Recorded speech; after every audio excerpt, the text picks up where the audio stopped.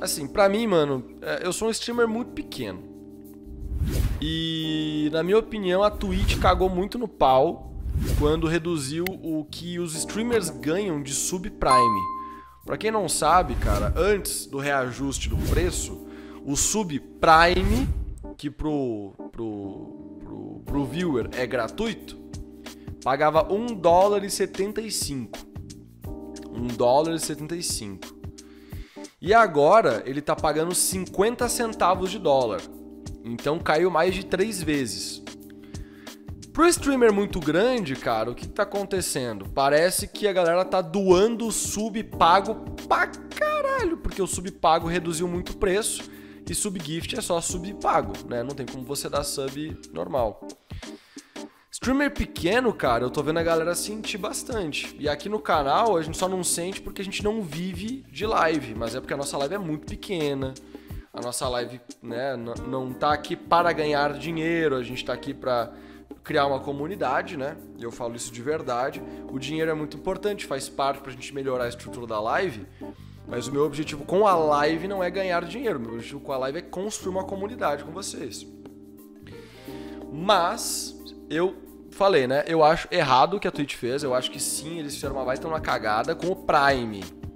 Com o Subprime. O Sub pago eu acho que o preço tá legal, tá ligado? 8 reais pro cara ter um sub que vai renovar todo mês, eu acho bacana. Eu acho que assim, pagar 50 centavos, se o cara tá pagando 8 reais, eu acho que é injusto pra caralho, né? Tinha que pelo menos melhorar a porcentagem, já que os caras vão abaixar o preço pra motivar a galera que é pequena, que tem pouco sub. Cara, eu tenho 10 subs na minha live, então pra mim pouco importa qualquer uma das coisas. Mas eu acho que sim, foi uma sacanagem o Prime. Uma baita sacanagem e também me impacta. Porque eu quero tirar os 100 dólares pra gente poder investir aqui na live e agora vai ficar muito mais difícil. Só que, cara, eu sou dono de uma editora. Eu sou dono de empresa também.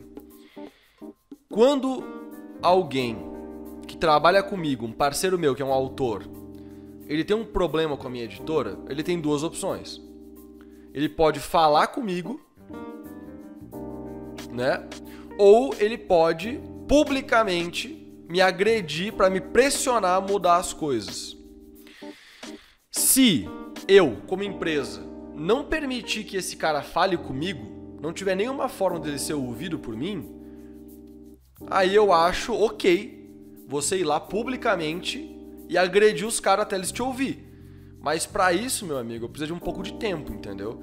Não é simplesmente, ah, mandei um e-mail pra Twitch hoje, ninguém me respondeu, vou começar a fazer apagão, vou começar a ameaçar, vou começar. Porque isso basicamente é uma ameaça, né? É tipo, ou vocês arrumam, ou a gente vai fazer apagão da Twitch. Cara, é a Twitch, mano. O YouTube tá aí há anos fazendo a mesma coisa com os youtubers, tratando como se não valesse nenhum centavo. E a Twitch, cara, ela tá fazendo a mesma coisa? A gente não sabe.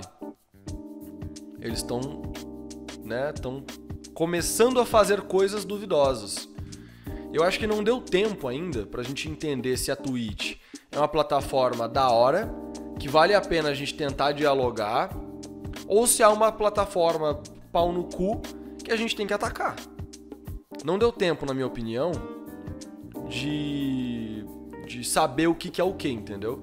Então eu não vou participar de nenhum apagão, porque eu acho que se eu tivesse no lugar da Twitch agora, testando uma coisa, explicando, a gente está testando, a gente vai dar uma grana de compensação todo mês para os streamers, porque a gente entende que isso provavelmente vai causar um impacto. E se der errado, eu quero ver se eles vão voltar atrás ou não. O Prime, eu acho que não tem desculpa. O Prime eu acho bem errado. E a gente já tá dando feedback bem claro. O Prime tá errado. Prime, a gente não vai aceitar desse jeito porque tá realmente muito injusto.